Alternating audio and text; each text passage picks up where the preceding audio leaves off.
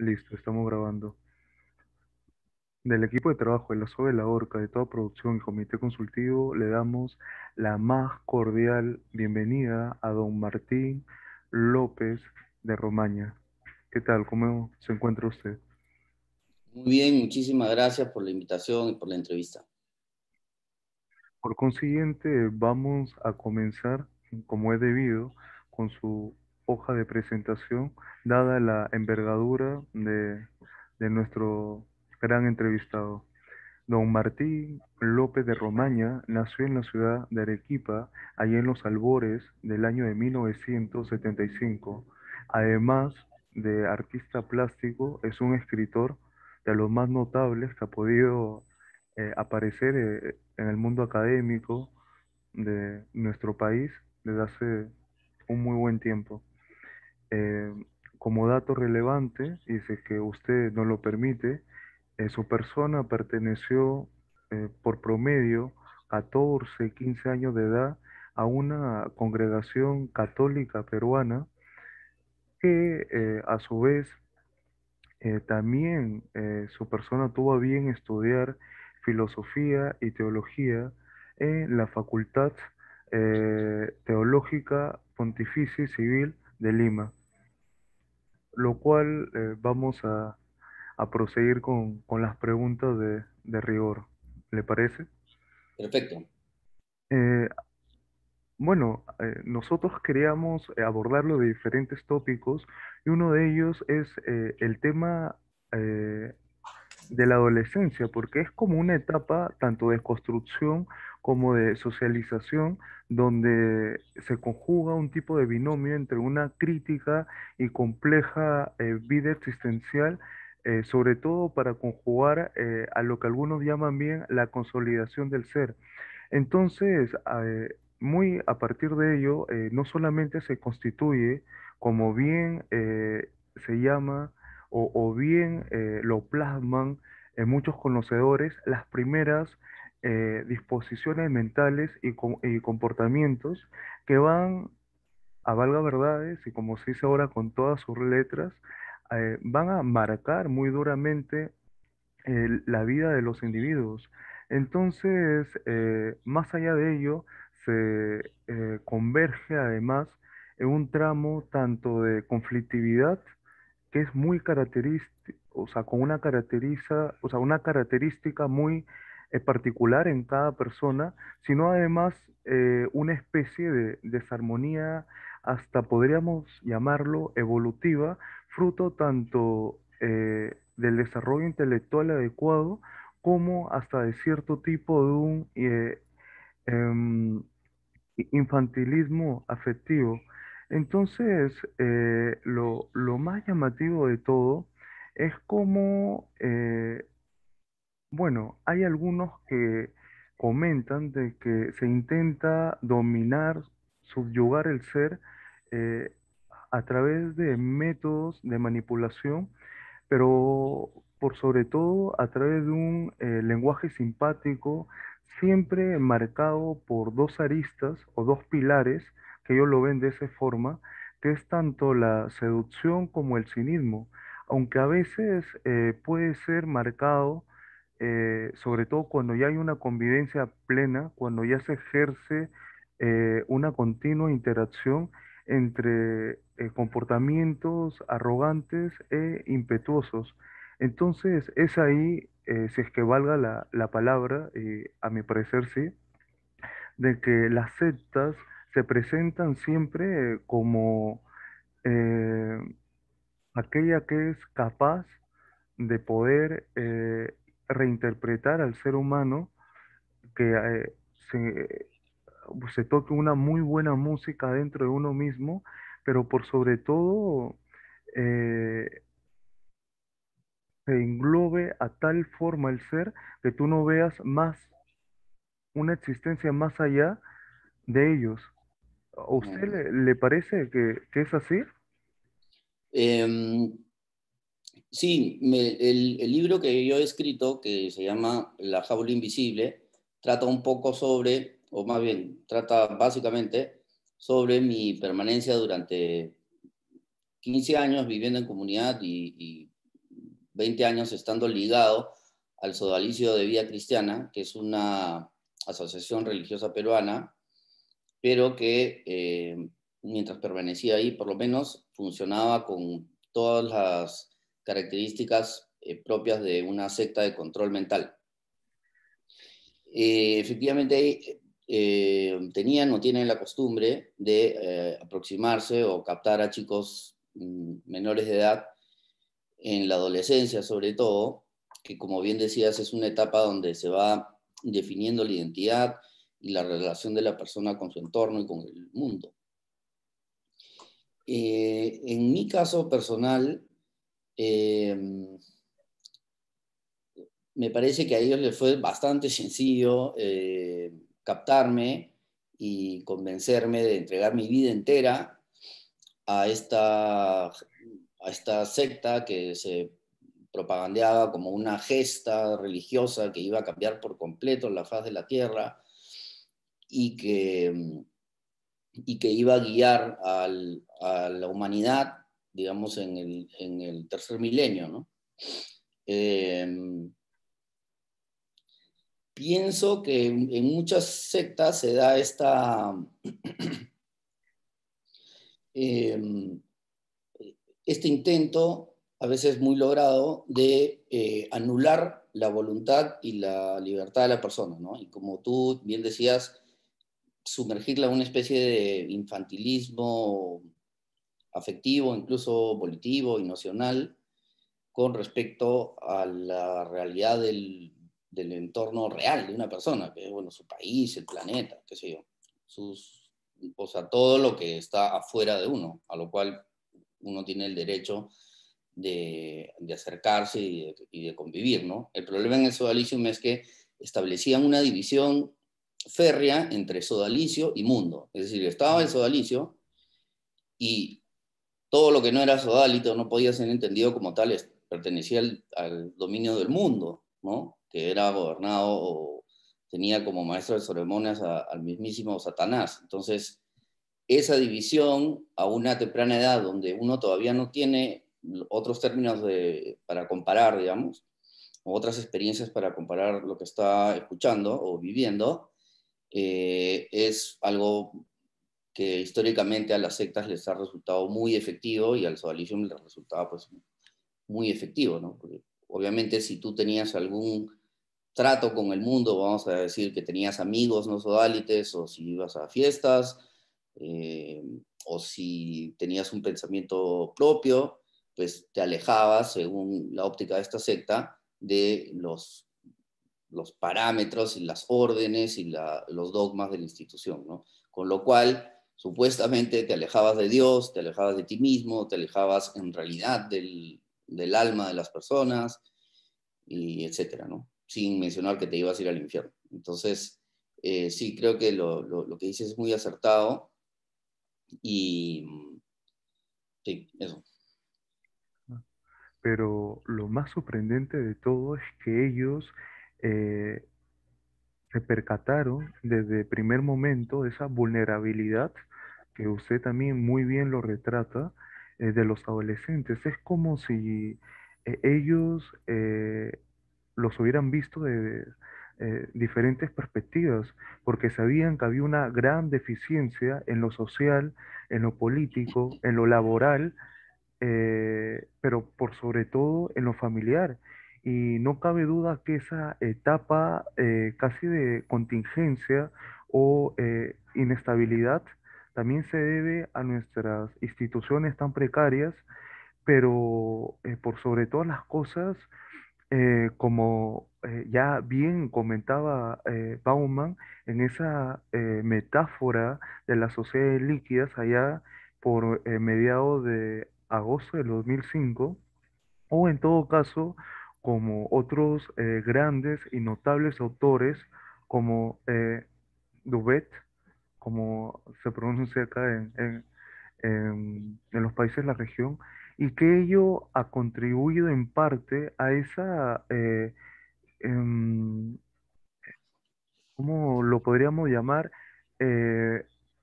una especie de, de eh, jaula eh, encristada en uno mismo que cuando intenta de primera mano eh, salirse de ello, eh, siente que hasta se está traicionando así a uno mismo.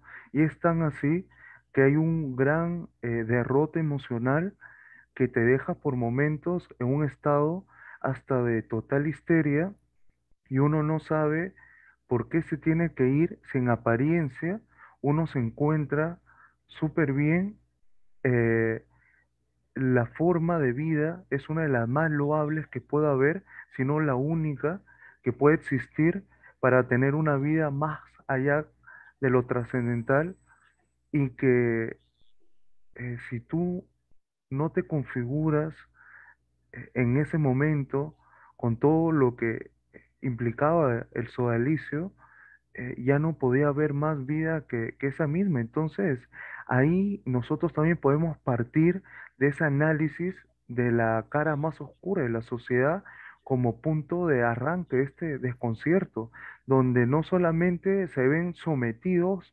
parte eh, de los eh, parte de los adolescentes carentes de referentes de socialización, sino además eh, posteriormente podemos adentrarnos a esa búsqueda que, de modelos poco ortodoxos y viéndose simplemente atrapados a, a estas, porque nosotros compartiendo previamente esta entrevista, con otras personas que también han podido salirse de ello, nos comentaban que es como si el mismo ser se, se, se amalgama de ello y, y el mismo espíritu se doblega y hay como algo inherente que siempre te hacía dudar, te hacía volver y hay algunos que se han salido y han tenido que regresar a la semana, al mes, porque no, hagan, simplemente no aguantaban. Em, sí, ahí quisiera, no sé si aclarar, pero sí eh, subrayar algo que es, mm. en el Sodalicium, como en otras sectas, se buscaba a chicos especialmente que estuviesen en crisis en la adolescencia, por los motivos más eh, variados, pero también es cierto que en realidad todo adolescente está en crisis, o sea, hasta el mismo verbo adolecer ya nos, nos, nos indica un poco esa situación. hay mucha gente que piensa que, claro, este, estas sectas solo agarran a, chicos particularmente eh, conflictuados, perdidos en la vida, inseguros o, no muy despiertos, pero en realidad es todo lo contrario. Lo que buscan las sectas es personas inteligentes, con, sensibilidad, con creatividad, con dones, que le, permitan a la secta seguir creciendo, ¿no? Em, no sé, a una secta le viene pues muy bien, por ejemplo, alguien muy carismático que sea capaz de hablar mucho y, hacerle propaganda a la secta. En segundo lugar, con lo, que decías de esta especie de amalgama que, que termina recubriendo a la víctima de una secta, yo lo plantearía como una especie de eh, inoculación de una segunda personalidad, ¿no? Es decir, yo desde mis 12 años ya eh, sentía, aunque no podía darme cuenta, o más bien eh, me doy cuenta que alguna idea tenía de ello a posteriori, que habían insertado en mí o instalado en mí muy bien puesta una nueva personalidad, ¿no? que era la personalidad sodálica, en este caso pero cualquier secta tiene una especie de personalidad que los sectarios tienen que acatar y que tienen que pensar según esa, personalidad y que tienen que sentir según esa personalidad, que en realidad es no solo construida y muchas veces falsa, sino a veces totalmente ajena a la persona. Es decir, si a, si a mí me hubieran venido eh, a lavar el cerebro miembros de otra secta, pero así de eficaz como en la que terminé entrando, pues también hubiera caído y muy probablemente en las, en las condiciones adecuadas, cualquier adolescente es eh, susceptible de, caer en las garras de, estas sectas, ¿no? Claro. Eh, pero eh, de nuestra parte quisiéramos recalcar de que, como usted también bien nos lo plasma, existen diversos factores de vulnerabilidad que no solamente favorecen la captación de estos sujetos eh, por la secta, como usted también bien nos lo plasma, algunos piensan que se requiere de baja autoestima, inestabilidad emocional, pero más que eso, eh, hay personas eh, desde muy pequeñas, más que notables, como usted bien nos dice, con un olfato, con un instinto, para saber medir los tempos de una determinada situación. Hay otras que también usted eh, nos hace bien retratar, que son eh, prácticamente muy amenas, que te hacen sentir eh, en casa desde un primer momento, pero también vale recalcar que existen métodos que facilitan tanto la eh, conversión, si es que valga la palabra, o la afi- afiliación. Y estos, eh, según nos dicen, eh, cuentan de distintas fases. Nosotros podemos, por ejemplo, en esta oportunidad citar a dos eh, personajes notables como eh, Bainot o Sensibility, donde eh, nos decían ellos en sus análisis, allá en los albores del, siglo XIX, que todo comienza con la captación donde hay miembros de esta secta netamente entrenados para buscar eh, nuevos de- devotos y para eh, sobreponer eh, las perspectivas de éxito con las que estos puedan contar a partir de una metodología ya propia, esencia de la propia secta, como es una observación para poder medir las cualidades cuantitativas del personaje y más, más aún que los primeros encuentros, eh, la persona que se quiere afiliar o captar no tengan una conversación trivial, sino un poco más allá de.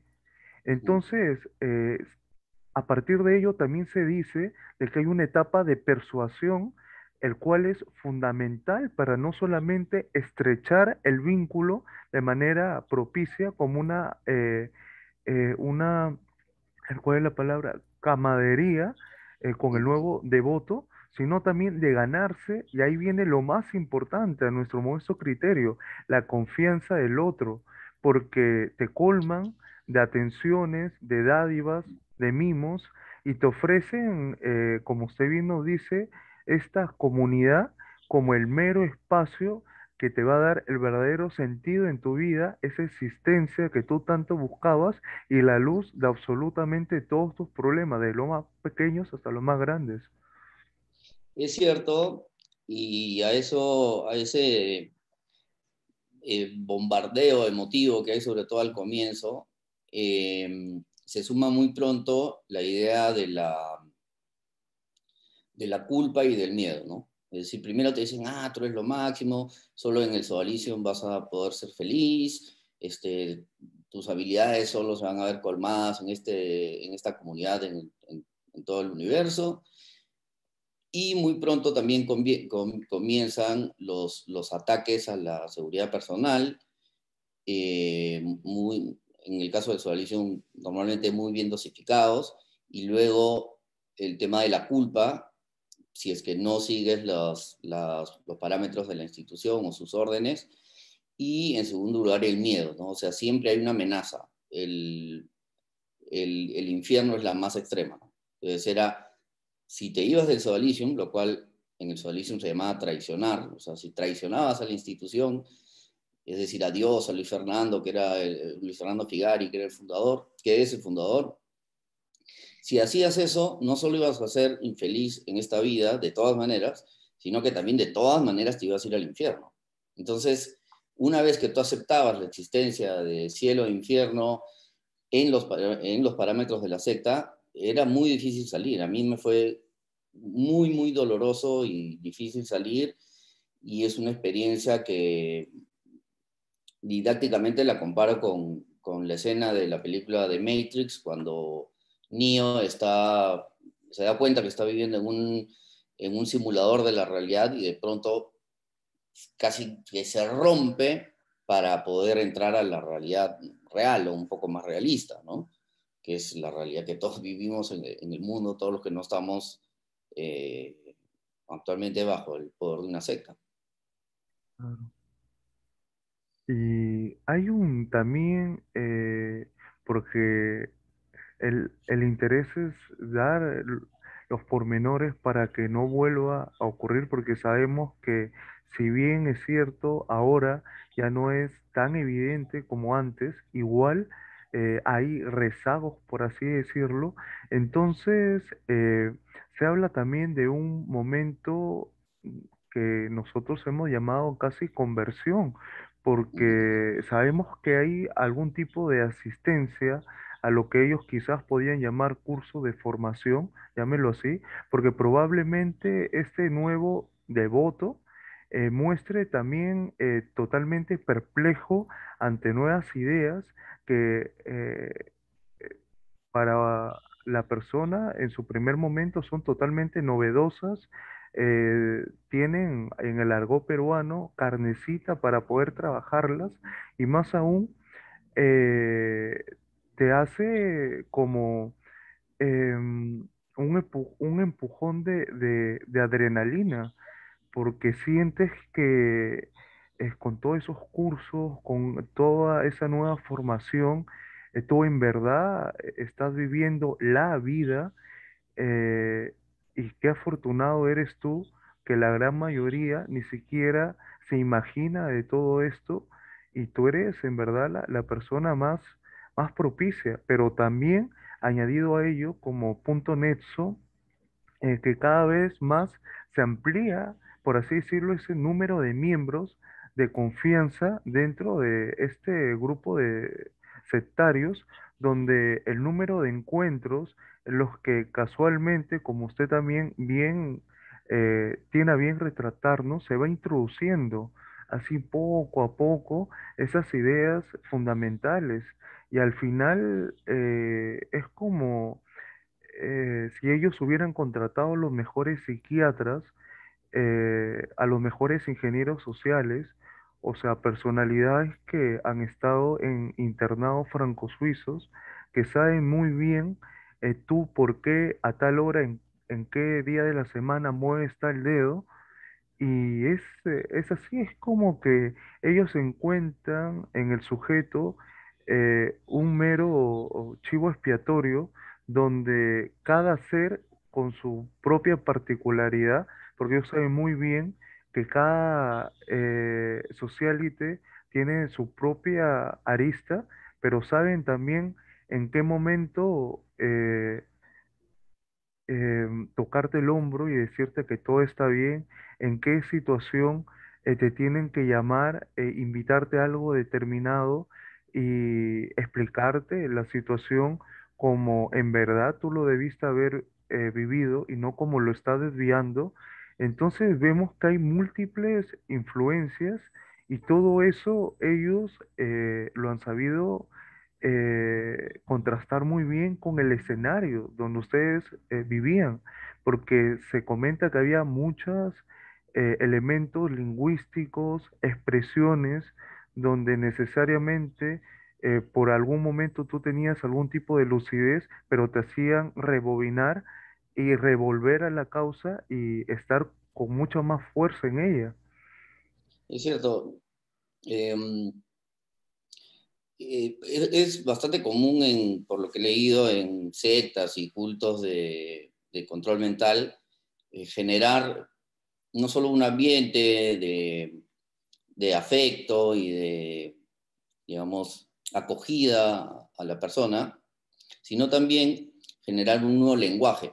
Es decir, se crea toda una fraseología que solo manejan los iniciados y que creen que es clave para interpretar la realidad, ¿no? su realidad personal y la realidad del, planeta. Entonces en el sodalismo había mil frasecitas y referencias y, eh, teológicas y referencias en griego y en latín y cosas que manejábamos y, ciertos conceptos pseudofilosóficos que manejábamos con mucha comodidad, comodidad porque eran en realidad muy sencillos y muy torpes. Y esa sensación de estar en un mundo nociológicamente y afectivamente protegido, es una de las cárceles más grandes para la conciencia, para la voluntad y para la, libertad, ¿no? Claro. ¿Y nos puede explicar en qué momento a su persona le ocurrió ese enganche psicológico? Si fue brusco, eh, si prácticamente, eh, o sea, eh, usted, no sé si valga la palabra, se postró, fue ávido y lo recepcionó maravillosamente. Em, yo diría que fue un proceso em, no tan largo, en realidad creo que conmigo la tuvieron bastante más fácil que con algunos de mis amigos que por lo menos hicieron un poco más de resistencia. Em, en mi caso, me, creo yo que me afectó mucho o hizo mucho impacto en mí este, esta creación artificial de una nueva familia para el adepto, el bombardeo afectivo y el decirme que yo eh, era una persona especial. Porque cuando uno, es, sobre todo cuando uno es adolescente, necesita saber que te, distingues del resto por alguna característica positiva. Y mm, fueron como muy, em, eh, entre comillas, generosos conmigo en ese sentido. O sea, me decían que eras súper capaz y no sé qué. Y me la creí, la verdad. Es probable que necesitaba creérmelo, pero ¿quién en la adolescencia no necesita tener esa confirmación identitaria?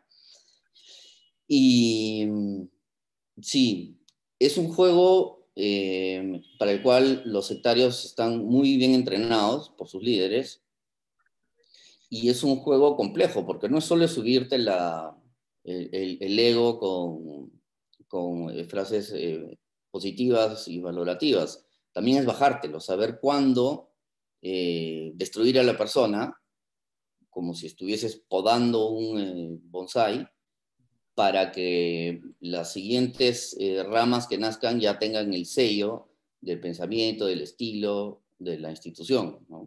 Es decir, te van cortando partes tuyas para que broten partes que en realidad no son tu personalidad y son la, esta segunda personalidad impuesta. ¿no? Y, eh, usted nos comentó de líder. Eh, Normalmente líder se erige en una figura pseudo parental. Normalmente ellos reinterpretan la historia eh, del adepto, sus apegos, su forma de pensar y sobre todo les hacen, como usted bien dice, sentirse muy diferente hasta eh, del compañero, del colega que está al costado. Entonces, eh, qué gran tarea en la sociedad le comentó el, socialicio, el socialicio de vida cristiana que usted tenía que, eh, implementar, que hacer? Eh, si, le entiendo bien la pregunta, eh, de alguna manera el, líder de esta institución, el sodalicio, em, me, me, iba fue encargando a lo largo de los años ciertas, ciertos encargos, sobre todo libros, ¿no? me encargó que redactase una historia oficial del sodalicio, después una biografía autorizada de su persona, ¿no? Y él supuestamente me, iba a ir dictando toda su vida, ¿no? Pero de lo que me contó, y que conservo aún los apuntes, eh, era todo rigurosamente falso lo que me decía, ¿no? Sobre su historia, por ejemplo. Él me, me contó, por decir una de las miles de cosas que me contó, que era el, alumno más popular de, su colegio y que era el líder de la promoción y que destacaba en esto y en lo otro y en los deportes. Y en realidad, según eh, pude leer en el libro Mitad monjes, mitad soldados de Pedro Salinas y Paola Ugaz, eh, personas que los conocieron en el colegio, es decir, entrevistaron prácticamente a todos sus, sus condiscípulos del colegio y decían que era todo lo contrario es un tipo callado, eh, medroso, obsesionado con el orden y hacia los últimos años de secundaria obsesionado también con el, con el nazismo. Em, entonces, eh, esta, esta, hipocresía o, ceguera ante uno mismo que tienen eh, estos líderes pseudo religiosos, es muy dura de romper y tengo el temor que quizás ante sí mismos no sean capaces ya de ver la diferencia. Es decir, yo durante toda mi vida de sodalite sabía cuál era, intuía que había todavía un Martín real de fondo y veía la diferencia con lo que supuestamente debía ser, ¿no? Pero yo creo que estas personas llegan a un momento donde hacen algo realmente nauseabundo desde el punto de vista ético y no los juzgan como nauseabundo, sino justificado, o ni siquiera ya son capaces de verlo o de entenderlo como un hecho negativo. ¿no? ¿Cuál fue eh, la mayor presión directa e indirecta que ejercieron eh, hacia su persona? Es difícil decirlo porque es un proceso largo y, y complejo, sobre todo complejo el de, el de esto, pero ¿cuál sería la, yo, pienso que no fue por el lado de las ideas. Es decir, no es que los odalites o Luis Fernando tenía grandes ideas y eso conmovía y, movía a la gente a, pensar o actuar de determinada manera. No.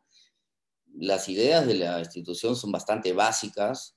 Eh, por más de que eh, Luis Fernando tenía todas estas ínfulas de ser un gran intelectual, no lo era, un tipo más bien limitado en ese sentido. Y yo creo que lo que más me afectó fue el chantaje emotivo, ¿no? Afectivo. Es decir, hacerse súper amigos míos cuando era chico, eh, hacerse súper amigos de mis padres, cosas que trataban de hacer eh, con muchos de los chicos para, para que su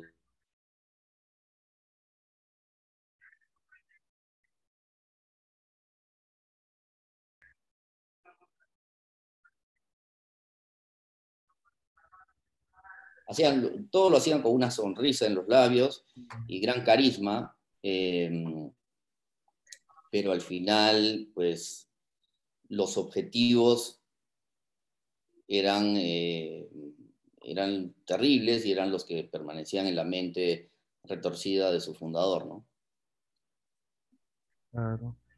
Eh, nosotros al momento de interiorizar su libro, eh, fue tremendo eh, porque uno puede impregnarse de situaciones que a cualquiera lo quebrarían por completo, eh, situaciones que un primer momento, si es que la persona no sabe que usted prácticamente vivió por lo menos más de una década en el seno, en el ala más dura del socialismo de vida cristiana, dirían que son totalmente eh, irreales o, fuera de contexto, pero son situaciones totalmente eh, concretas y que de verdad, o sea, que su persona esté eh, en este momento con nosotros,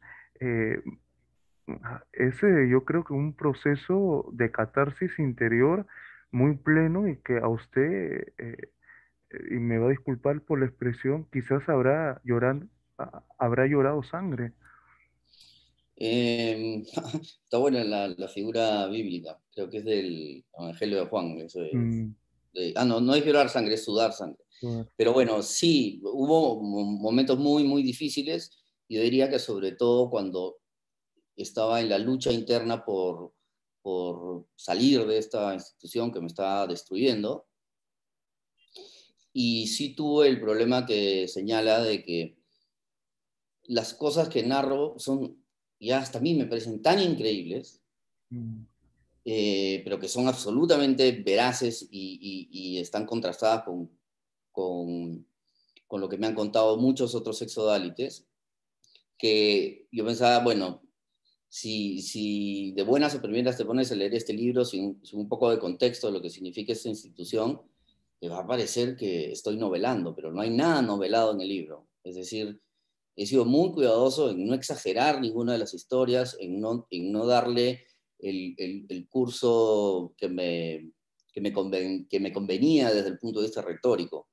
Es decir, me he cuidado mucho de eso, incluso eh, haciendo cuentas, he hablado con casi 100 exodalites sobre el tema y he podido recoger muchísimas opiniones y cruzar muchísimas historias que, yo recordaba bien o mal para ponerlas lo más em, certeramente posible, lo más honestamente posible.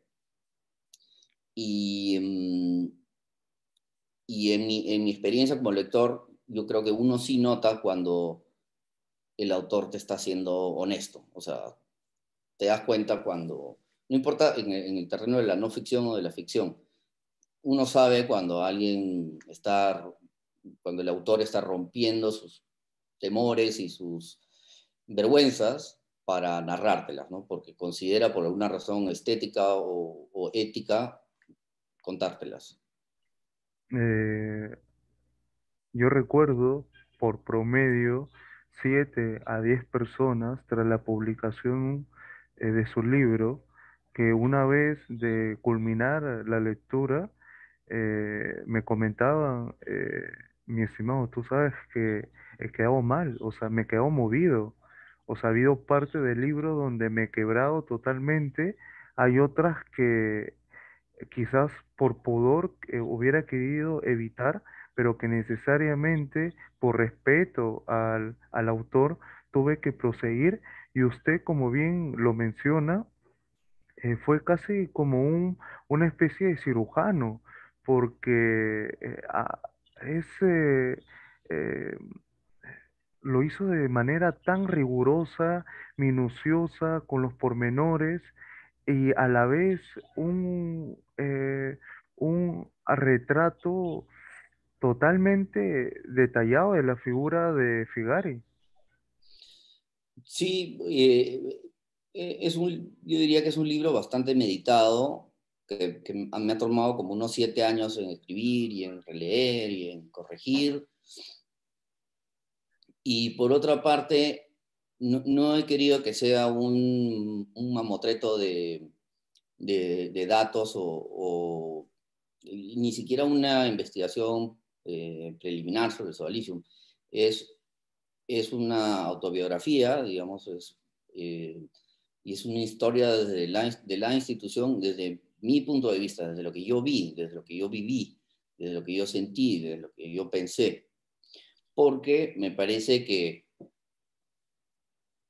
es algo quizás de, lo más complejo de transmitir, ¿no? Es decir, claro, uno puede eh, hace una investigación impecable, como por ejemplo la de Pedro Salinas y Paolo Ugas en Mitad Monjes, Mitad Soldados, pero también a veces se necesitan otros medios que la literatura nos pone en las manos para eh, manifestar cómo se sentían esas, esas cosas, ¿no?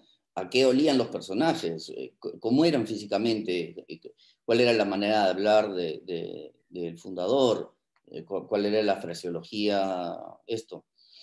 Y por otro lado, he tratado de que el libro no sea un libro eh, que no sea una tragedia solamente, que tiene sus partes dolorosas, obviamente, pero también he, dejado las partes en las cuales se me salió un poco de humor, porque esa es mi manera de ver el mundo, ¿no? O sea, con, eh, me parece que por lo menos la, situación de los seres humanos siempre en el mundo ha sido la de una especie de tragicomedia.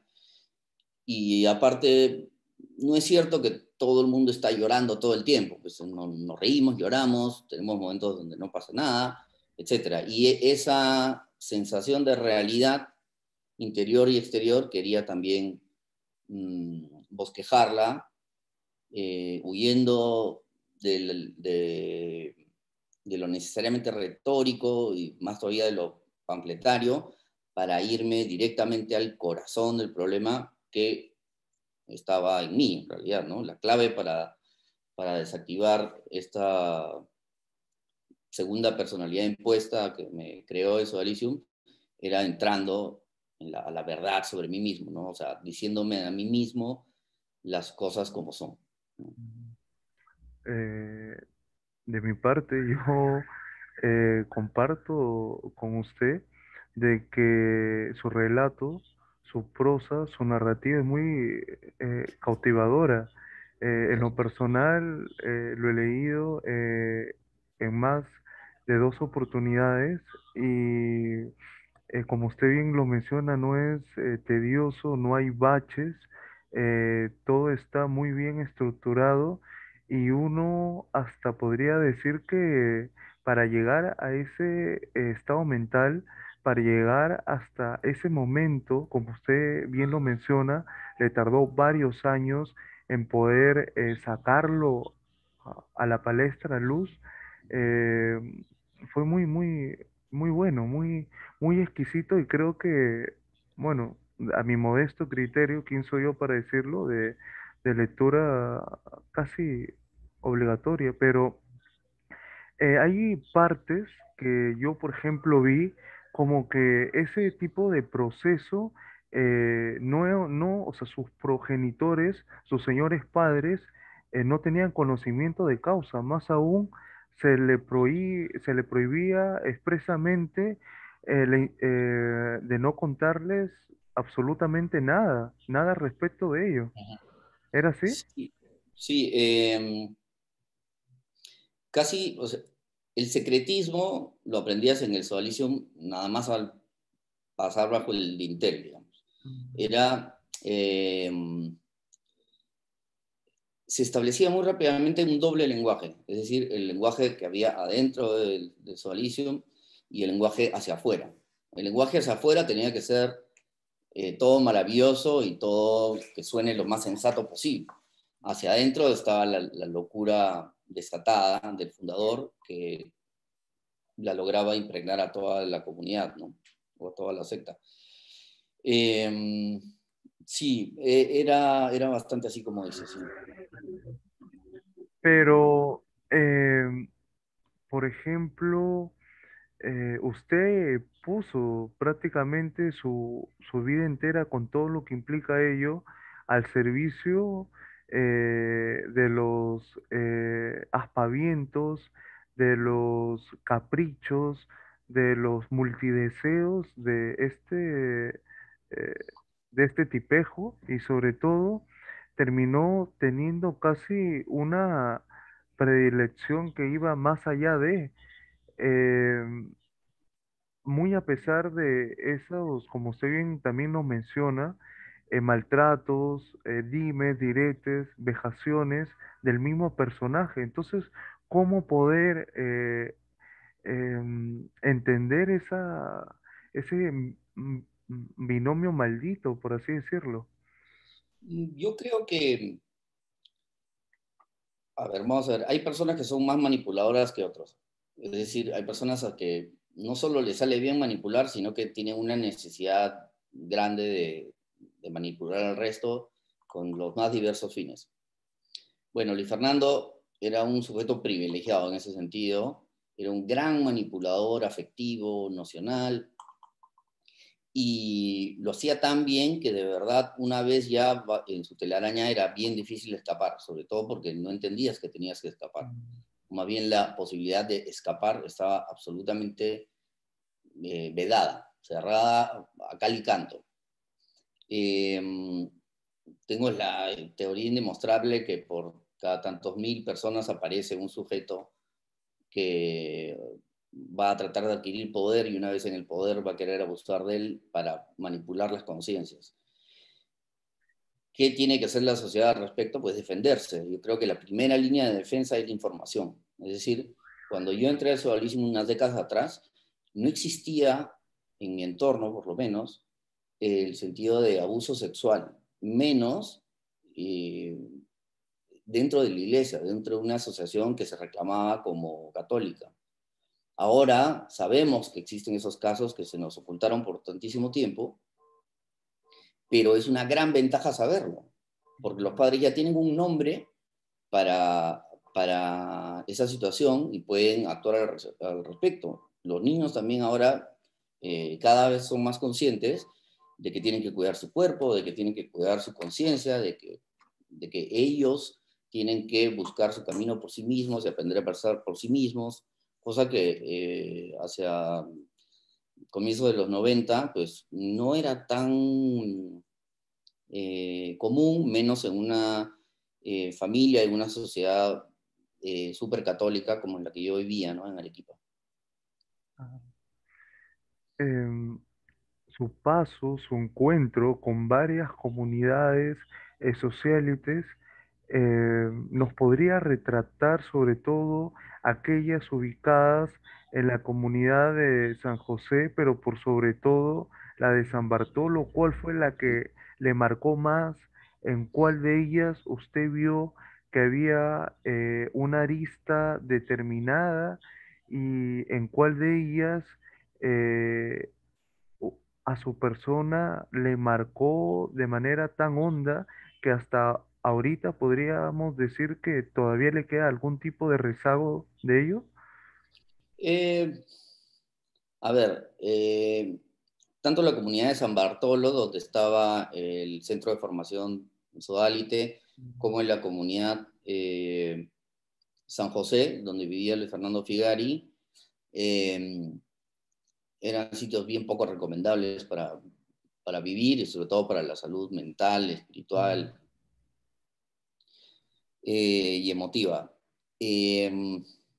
La pasé mal en ambas comunidades, por razones distintas quizás, o, o por razones no, total, no idénticas. En San Bartolo era el, el, la sobreexigencia física, el poco sueño, el mucho trabajo, el, muchos ejercicios físicos, poca comida a veces, que, eh, que son eh, vehículos que funcionan casi siempre en, algunas sectas para, para lavado de cerebro. Y lo, más doloroso de mi estancia en San José fue la personalidad de Luis Fernando, que era súper destructiva, eh, enajenante y aterradora. La verdad, yo le tenía un pánico, no me da vergüenza reconocerlo, enorme. ¿no? Tanto así que nunca lo pude enfrentar realmente. Ah. Y eh, uno puede encontrar, por ejemplo, una secuencia de personajes que usted también eh, ha tenido bien en decirnos, que los describe eh, magistralmente y con una minuciosidad que creo que hasta ellos, bueno, hasta ellos puede llegar el punto de que no se hubieran conocido de, esa forma en que usted mismo lo, lo ha retratado, puesto que usted lo retrata de una manera de historia muy personal, eh, comenzando, claro está, con la figura de este nefasto de Figari y eh, el círculo más íntimo. Entonces, toda esa secuencia de retratos escritos por su persona, eh, llámese, por ejemplo, un tal eh, Alejandro Bermúdez, un Doig, un eh, Alessandro, eh, etc., etc. ¿Y cómo usted logró todo ello y cómo supo darle el matiz necesario a cada uno para que en lo personal el lector pueda saber a ciencia cierta eh, cómo eran estos personajes? Eh, eh, me lo crea o no, yo mismo creo que soy una persona observadora, lo cual creo que viene un poco con el, con el puesto de escritor, ¿no? Aunque incluso hasta para la ficción uno tiene que ser súper observador, ¿no? máxime en, en, un libro de no ficción. Es decir, eh, yo creo que se debe a eso y quizás a que también tengo buena memoria gráfica y auditiva. Eh, sí, eso se me ocurre. Eh, sí. Bueno, y, y, muchísimas gracias por tan generosas palabras.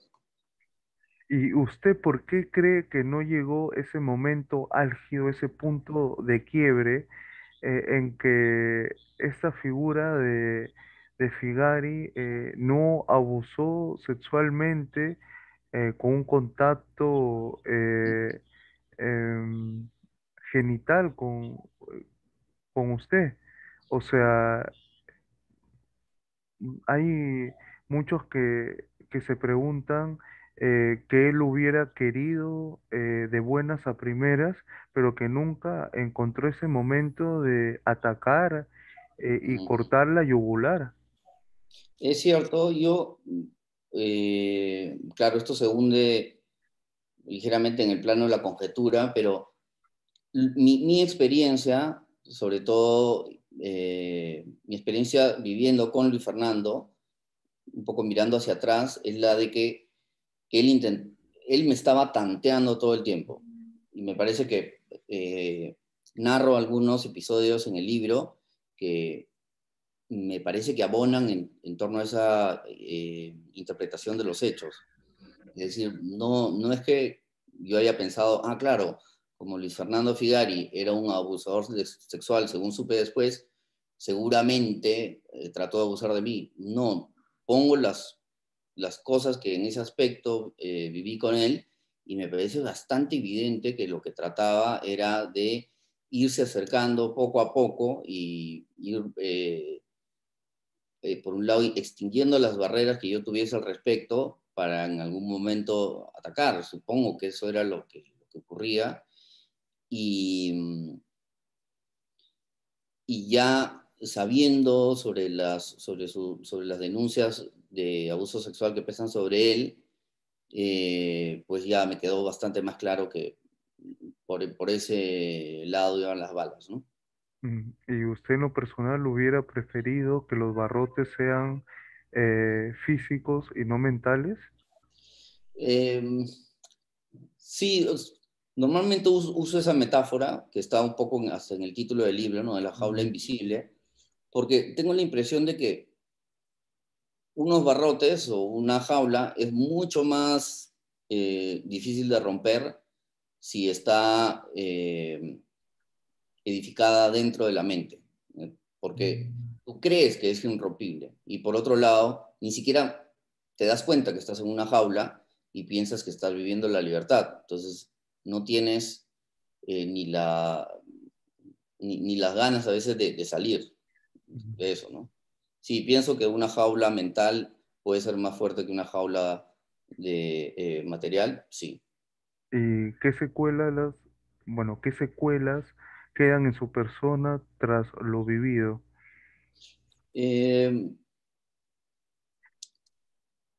en el libro me extiendo bastante sobre eso. Pero, y, sí. eh, yo diría, si es que puestos a elegir o, mm. o, a enumerar lo menos posible, yo diría que el, una extraña sensación bastante persistente de culpa gratuita, es decir, eh, se queda como un hábito la culpa y puede que yo no esté haciendo absolutamente nada malo eh, y sin embargo siento esta extrañísima culpa que de verdad que es algo bien molesto, pero como ya sé que existe, estoy desarrollando las herramientas que me permitan superarla, por, por, por ponerte un caso, sí. ¿Y qué significado tiene esta novela justo en el hoy por hoy, en este momento de su vida y sobre todo en su trayectoria literaria? Eh, con respecto a mi trayectoria literaria, yo diría que necesitaba escribir este libro para poder seguir escribiendo. Es decir, si no botaba la pepa, como me, me señaló un amigo, es probable que nunca hubiera podido escribir nada más en adelante, ¿no? Y ahora me siento muy liberado en ese sentido, con muchísimas ganas de escribir y ya soñando con, con futuras eh, publicaciones y documentándome y tratando de conseguir eso tan esquivo que se llama la inspiración. Eh, como persona, pues, pues me ha servido mucho, me está sirviendo el haber publicado el libro incluso, no solo haberlo escrito, que fue lo, lo principal, sino haberlo publicado, porque eh, según me escriben algunos exodaltes, por ejemplo, o gente en general, les ha servido en cosas muy concretas de su vida y cómo no sentirse súper contento con, con, esa situación. ¿no? Uno ha podido hacer eh, algo de bien eh, a personas que están sufriendo, pues, ¿qué más se puede pedir en la vida? ¿no? Un par de cosas más, pero es de lo más bonito. Pero en sí, ¿qué resistencias usted tuvo que vencer, sobre todo en su proceso creativo? Eh, muchas. Primero era la sensación de agobio que me, que me daba revisitar mi pasado.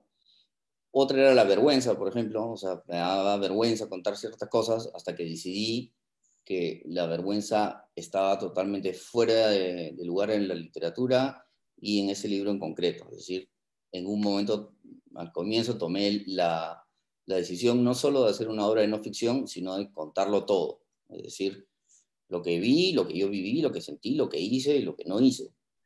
Em, pero también me siento ahora sin ningún temor y pienso pues que si a alguien eh, no, le gusta, pues, está en todo su derecho, eh, o sea, no le gusta algo que yo hice o que describo o lo que sea, está en su, todo su derecho, pero eso no hace que lo ocurrido sea distinto. ¿no?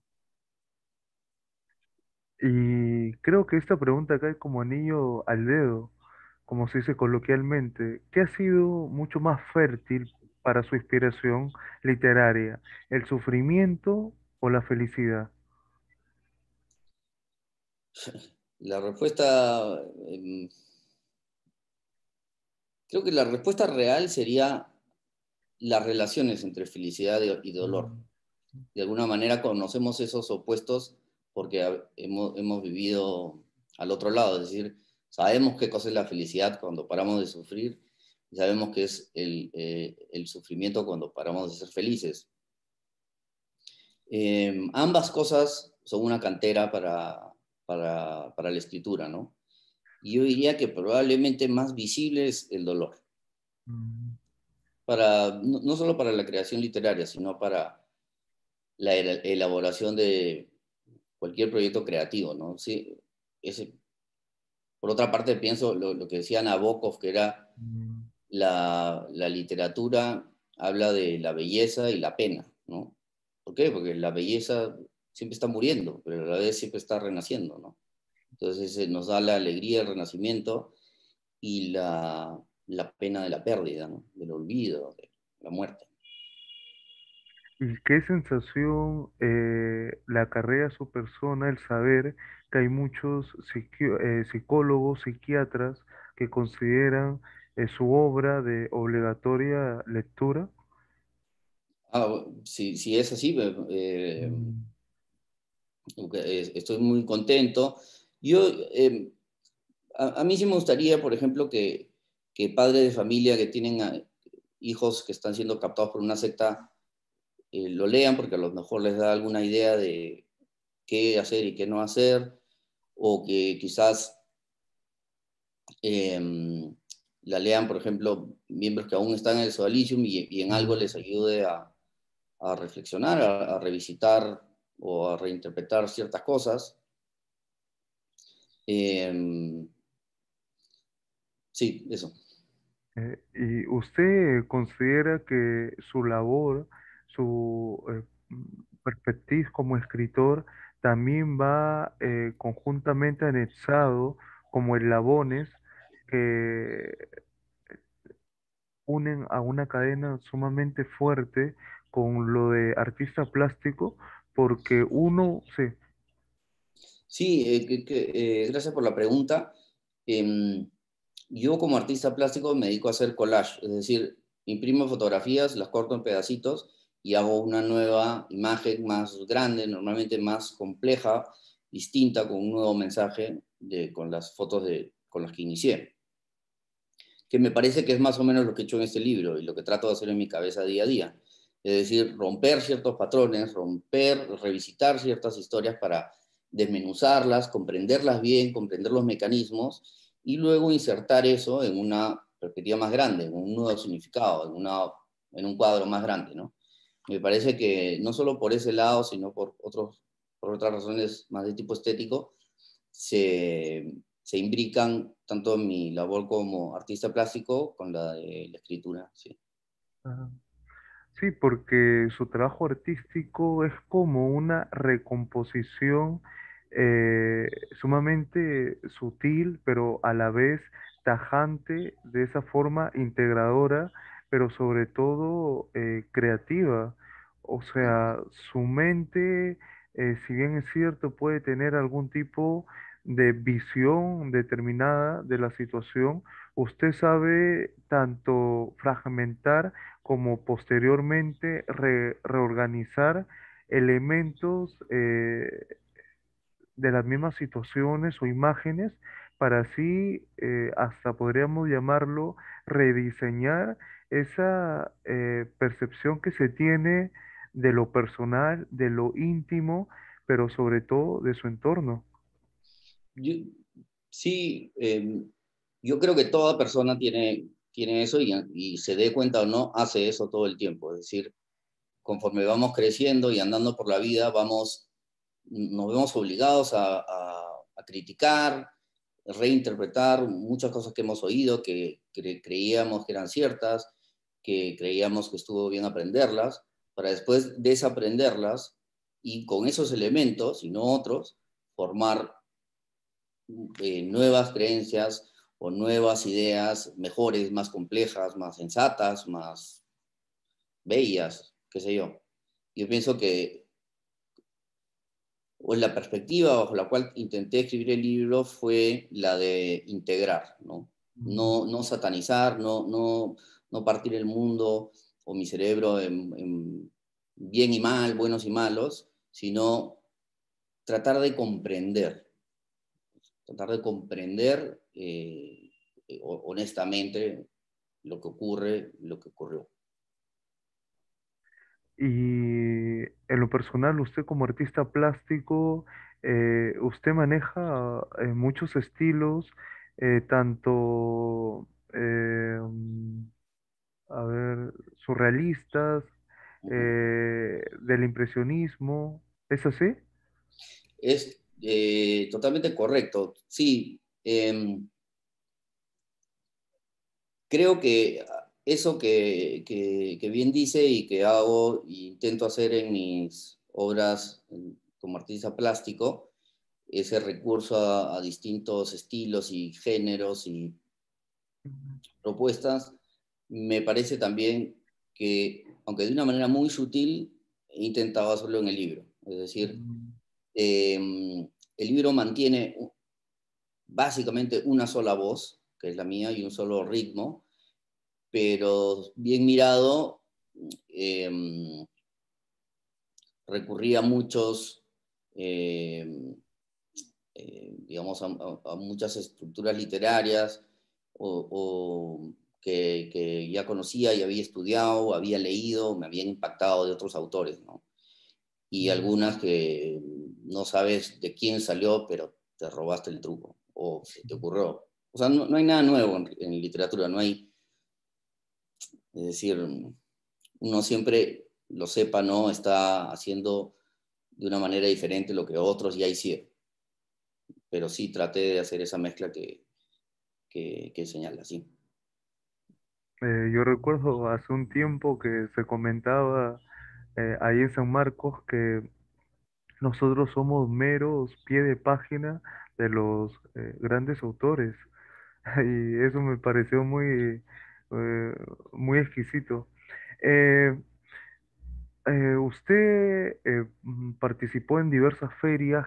¿Qué, ferias em, en lo personal le queda un recuerdo muy vivaz y como esa añoranza por volver? Quizás se recuerda su gran eh, participación en Buenos Aires, pero yo creo que Zurich es el que más eh, lo atrajo a usted, ¿es así? Eh, de, o sea, de ferias artísticas, mm. sí, recuerdo una, mm, una vez, una feria en Bogotá donde, donde pude hacer muy, muy buenos amigos artistas y, mm, y en cuanto a ferias de, de literatura, eh, estuve muy, muy contento hace, antes de la pandemia en, en el Hay Festival en, en, el Hay Festival en la ciudad de Arequipa, en, donde pues conocía a muchos escritores que eran mis, mis, eh, mis ídolos. Puedo conversar con ellos y hasta en alguna ocasión tomarme una cerveza, lo cual como lector es una cosa increíble. Y si es que le es posible y si uno no peca de impertinente, podría comentarnos eh, qué escritores fueron ellos, eh, qué sensación le, causó ese recibimiento de cada uno de estos eh, grandes y notables personajes y cómo usted al momento en que se sintió interactuando con ellos, se dio cuenta que la vida es eh, mucho más que placentera, satisfactoria. Sí, ahí eh, conocí a, a- a muchos eh, autores que, que admiro y estimo.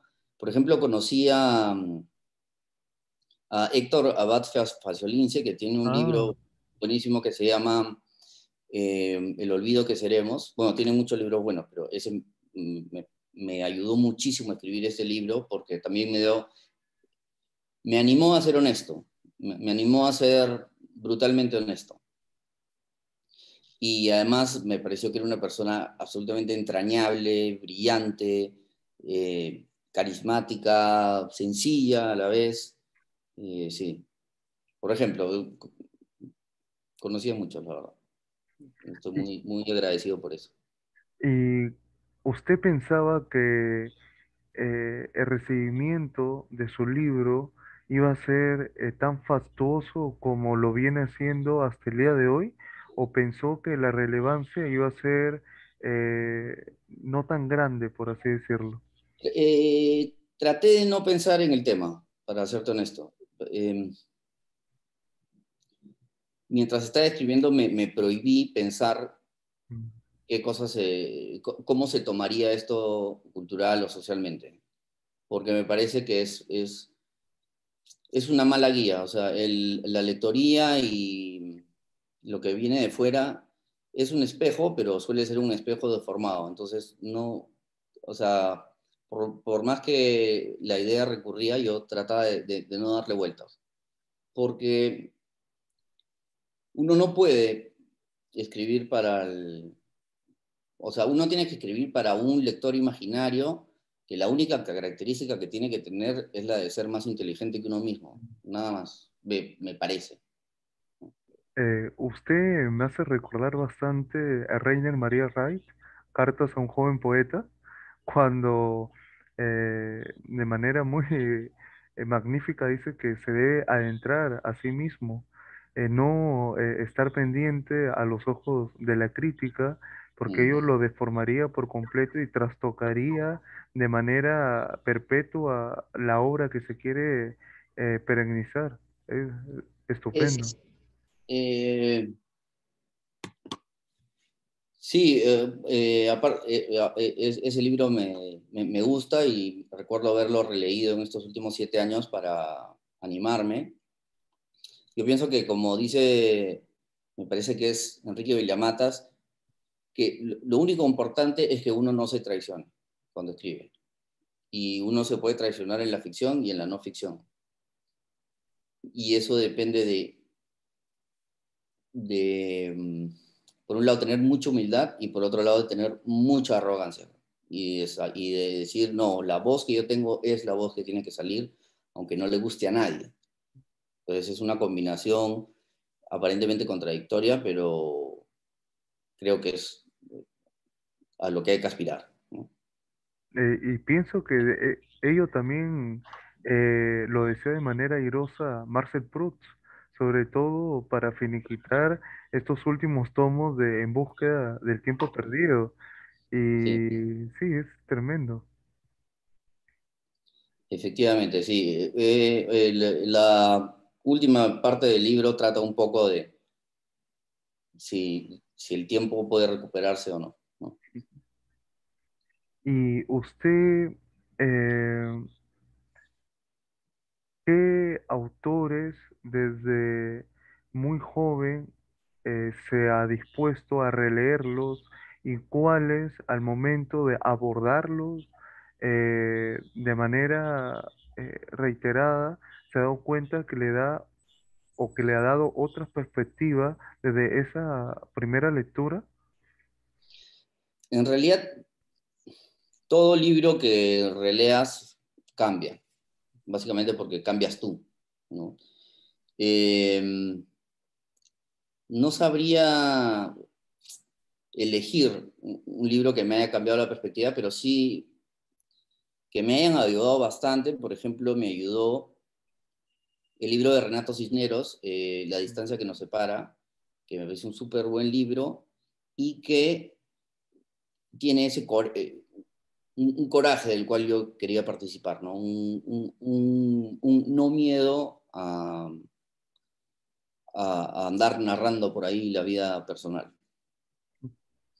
Eh, luego, por ejemplo, leí bastante a Emanuel Carrer, que es un autor que, que, admiro mucho, porque también es súper honesto, o me, así, así me lo parece. Y es bastante brutal en su honestidad. Luego,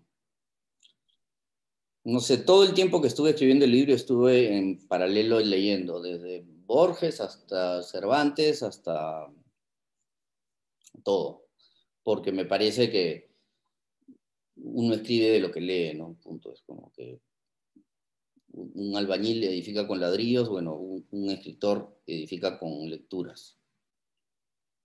Eh, yo recuerdo que en los libros eh, más sinceros, más honestos que se han podido escribir y algunos autores eh, nombraban a, Borges, estos hacían referencia a a cuando Borges trataba el budismo, el budismo zen, en, ciertas ocasiones el Tao Te Ching también de Lao Tse, eh, de Borges en especial, ¿qué es lo que usted pudo abordar? Mm, a, Borges lo conocí en los primeros años de la universidad y siempre ha sido una influencia para mí, para bien o mal, digo, a veces para mal en el sentido de que es tan perfecto que es descorazonador pero creo que el, respeto y lenguaje, el respeto que tiene a la lengua eh, y a las y, a los demás nutrientes de la literatura me parece loable, inalcanzable, pero eh, sí me, siempre me abrió a muchas eh, posibilidades del decir y del hablar. Hay una pregunta que nos ha llegado, si es que usted fuera tan amable. Nos dice... podemos hacer, disculpa, eh, necesito eh, ausentarme medio minuto. Sí, está bien. Ya, un segundito.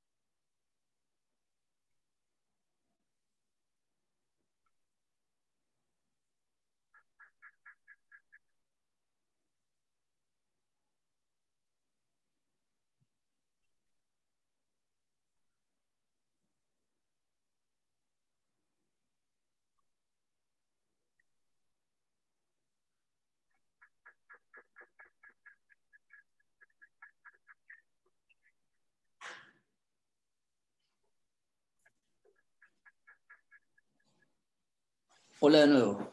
Mil disculpas.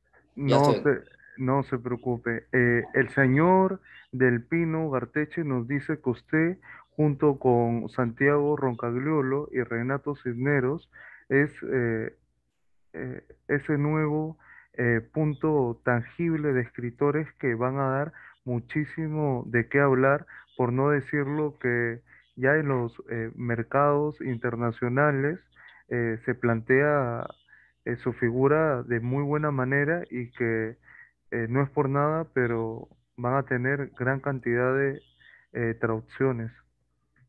Ah, eso no estaría nada mal y le agradezco mucho esa, que, que me coloque cerca de, dos buenos amigos y de excelentes escritores como son Renato y Santiago. Muchas gracias. En lo personal, eh, la relación que va con Santiago y con Renato, al parecer la personalidad de ellos eh, va muy bien con la de usted, eh, más allá de las conversaciones estrictamente literarias, también al parecer se da una conversación mucho más campechana, por así decirlo, en el argot peruano. A ver, a, Santiago lo, he visto, he estado con él solo en, una ocasión y me, cayó súper bien. Y, a Renato lo he visto un poco más de veces. Em, sí, todo el mundo conversa campechanamente con, si, está, si, es una ocasión informal y si eh, el lenguaje es coloquial. Em, sí. Eh, acá hay una, eh, una consulta que nos, eh, que nos escriben de, de Trujillo, la señora Sebastiani de Cooper, y nos dice si existe algún libro famoso que le hubiera gustado escribir, tipo Crimen y Castigo o Guerra y Paz. Sí, bueno, ¿a no le hubiera gustado escribir esos, esos dos libros fascinantes y geniales y paradigmáticos, ¿no? Y em, para ser honesto, probablemente por, bueno, no sé por qué, nunca me, me, planteo qué libro me hubiera gustado escribir. Em, no sé, lo que me planteo sí con, con toda la frecuencia del caso, que es probablemente cada minuto de mi vida es qué cosa, qué, quiero escribir, o cómo contaría esto, o cómo contaría aquello, o a qué palabras recurriría para, para nombrar algo, o para describir una persona, un personaje, o, una situación, ¿no? Eh, eso sí es lo que pienso mucho, o ¿cuál sería la mejor manera de decir tal o cual cosa? Eh, hay un grupo de alumnos de la UDEP, de la Universidad de Piura, que nos dice si usted tiene ambientado algún tipo de lugar de trabajo donde eh, usualmente suele escribir y nos cita que eh, en ocasiones eh, este grupo de, de alumnos del UDEP escriben en, la, en, en el DEPA, en la casa de alguno de ellos, porque son rockmates, y en muchas ocasiones con el wifi desconectado. Y también eh, nos preguntan si usted realiza lo mismo o, cómo es en sí. Mm, la verdad que para este libro han pasado tantos años que he escrito en todo tipo de lugares, ¿no? Estando de viaje, escribí bastante en, un cafecito que me quedaba cerca de casa. Em, escribí en casa, intenté y, a veces tan solo intenté escribir en casa porque me, distraía, entonces necesitaba que haya gente a mi alrededor viéndome, ¿no? Como si, no sé, como, como si eso me ayudase a, a concentrarme más. O sea, sí, escribí, escribo en todos lados. Em, sí. Eh, eh, por acá hay eh, una persona que no ha colocado el nombre y nos dice que eh, él en lo personal tiene algunos autores y que si le podría nombrar algunos y, ver si es que para usted también son de su plena predilección, nos habla de Vargas Llosa, nos habla de Dickens, de Hemingway, de Unamuno y de Ortega y Gasset. Mm. Sí, em, todos, todos los autores nombrados me, me parecen increíblemente buenos. Em, mientras estuve en el Sualismo tuve gran relación con los libros de, de Don Miguel y Unamuno y me ayudaron un poco a por un lado a confundirme y por otro lado a desconfundirme. si es que existe la palabra. Confundirme, ¿por qué? Porque él tenía un, en, bastantes de sus obras un anhelo muy grande de eternidad. Yo identificaba la eternidad con una vida mm, en el Sobalicium para poder lograr la eternidad.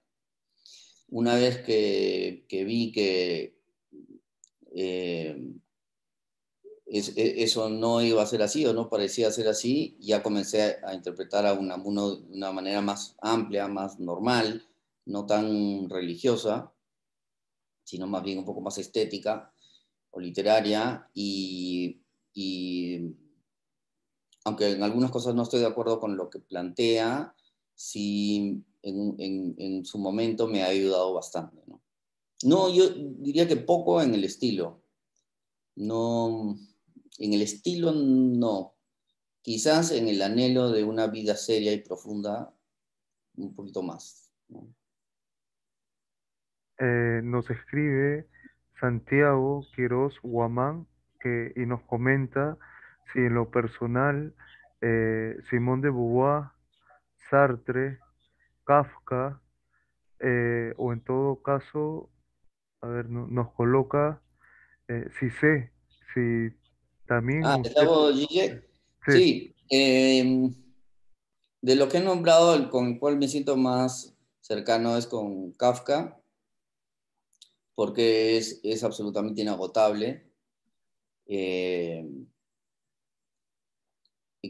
hasta donde yo puedo ver desde, mi punto de vista o mis gustos, quizás, eh, probablemente es el, el, escritor más grande del siglo XX Em, y, le debo muchísimo, o sea, como escritor y como persona, ¿no? No, no, no porque te dé las respuestas a las cosas, sino porque te ayuda a afinar las preguntas. Eh, por acá nos escriben dos hermanos de la ciudad de Trujillo, que son gemelos, y nos dicen, ¿qué prefiere usted? Eh, ¿Un café pasado, una infusión, un buen vino blanco o simplemente una cerveza?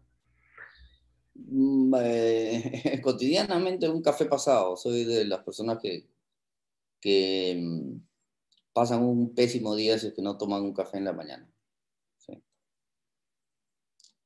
Eh, acá también eh, nos escriben igual sin nombre y nos dice que cómo usted ha podido compatibilizar la vida social, familiar con la escritura y eh, con ser un artista plástico y que usted es toda, es un, ah, un total vorágine, así nos han colocado. Eh, yo creo que todo el mundo tiene que combinar eh, muchísimas dimensiones de, de su vida y lo que sí diría es que saliendo de Sobalicium siempre he, buscado que, que mi trabajo tenga mucho que ver con lo que me gusta y lo que me gusta es crear. Entonces, mientras sea sobre creación el asunto, me, encuentro a gusto. En otro tipo de labores soy bastante ineficaz. Eh, eh, sí, eso. Y bueno, de, mi parte, una, una pregunta. ¿Nos puede hablar de su siguiente proyecto, a si pertenece a un género literario determinado y con qué nos va a sorprender en la siguiente ocasión? Eh, creo que los voy a sorprender totalmente. Es decir, ahora no, no podría dar avances de mi libro eh, por una razón muy sencilla, es porque lo tengo soñado tengo las obsesiones ya necesarias para escribirlo y la energía, pero no se me ocurre cómo. Entonces, el cómo eh, va desde la historia, el escenario y los, géneros a utilizar. Es decir, eso, eso va viniendo. Tengo confianza en que irá viniendo. Y lo que sí puedo adelantar es que tengo unas tremendas ganas de escribir y no sé por dónde comenzar. Probablemente debería llevar un diario, quizás. Y, mm, por ejemplo, eh, ¿qué es lo que ha quedado en su corazón? Eh, ¿una canción, quizás una película, quizás una determinada estación de, del año, un, un olor evocador determinado, eh, o algo que usted ha oído? Con respecto al libro, o a mi libro, Eh, o en general. en su, eh, en general. Mm, no sé, yo pienso que la, la vida es esas vagas imprecisiones que nos hacen ser lo que somos, ¿no? La sumatoria multiplicada de todos los perfumes, con todo lo que vimos, con todo lo que sentimos, con lo que leímos. Me, me es imposible poner un ladrillo encima de todos los demás. Es decir, creo que justamente la, uno es, eh, bien digo, creo la, la sumatoria de, de, lo vivido y hay cosas que a veces desechamos y no son desechables. Y hay cosas a las que nos apegamos y deberíamos desapegarnos. No sé por qué, pero usted me ha hecho acordar esa, una cita que siempre mencionaba eh, Edgar Allan Poe cuando él nos comentaba que su infancia eh, nunca fue como la de los otros y nunca la vio como los otros eh, lo vieron, que sus pasiones, las más profundas, eh, él no podía hacerlas brotar de manera igual, que su fuente era muy diferente a la de la gran mayoría y que el origen, sobre todo de su tristeza, eh, era eh, totalmente eh, diferente que la de otros, al igual que la alegría.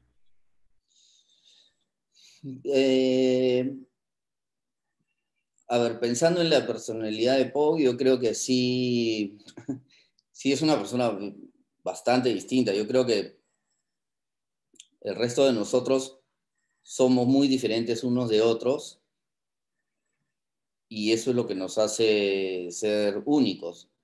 Porque a veces, o sea, sí hay personas que yo creo en la humanidad que, o sea, re, resaltan, ¿no? O sea, tienes a Aristóteles y es una cosa que, que no lo puedes creer. Pero digo, el, el, resto de nosotros, cada uno tiene un mundo interior increíblemente complejo que si es que pudiese eh, bucearlo por completo o aprovecharlo sería probablemente no, se, sería como una especie de bomba atómica de la, de la creación, ¿no? Lo que pasa es que, a ver, siento que muchas veces nos quedamos muy, o sea, eh, eh, el saco de nuestro ser real nos queda grande, es decir, nunca vamos a poder conocernos ni manejarnos, pero tan solo los activos que tenemos de todo lo que somos y la complejidad neuronal, de la, la complejidad de la conciencia, de la personalidad, de los sentimientos,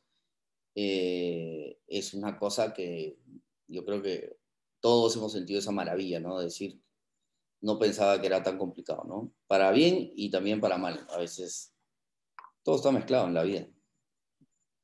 ¿Y usted considera que somos cazadores de ambiciones? ¿Es así realmente? No sé, de, depende de qué se entienda con ambiciones, ¿no? Si, si uno se refiere a la parte más pedestre de las ambiciones, que son como, qué sé yo, el dinero, la fama, sí, pues de alguna manera todos somos, tenemos algún, por una u otro lado, una, un, alguna de esas este, ambiciones, pero yo pienso que la ambición más grande que puede tener el ser humano es hacia las cosas, hacia como Kant diría, a los, a los objetos metafísicos, es decir, a, a la verdad, al bien, a... Eh, eso, yo creo que en mi caso, yo, mi, una de mis más grandes ambiciones es enterarme de las cosas, es decir, comprender, ser curioso, investigar. Me parece que hoy en día se necesita más gente que averigua y, porque ya de, creencias ya tenemos suficientes. El punto está en atrevernos a investigar, averiguar, haciendo, hacernos una idea honesta de las cosas. Y eh, en verdad es menester aplicar, eh, qué sé yo, los pensamientos, por ejemplo, filosóficos eh, a los problemas de la vida real. ¿Es factible ello? Por ejemplo, eh, ¿cómo pensaría Schopenhauer en una determinada acción? En cómo se comportaría, por ejemplo, Maquiavelo, porque Maquiavelo nos decía, el príncipe en ocasiones ha de convertirse en león y zorro, en león para ahuyentar a los lobos y en zorro para reconocer a la- eh, las trampas. Eh, yo pienso, y me parece que estoy parafraseando a, a Aristóteles precisamente, que, que todo hombre es filósofo, ¿no? Es decir, se dio cuenta o no, haya estudiado eh, filosofía o no, es, es lo de menos. Nuestra vida es una especie de búsqueda filosófica, ¿no? En distintos grados de, de, profundidad, ciertamente, y también de, de adscripción a una metodología, pero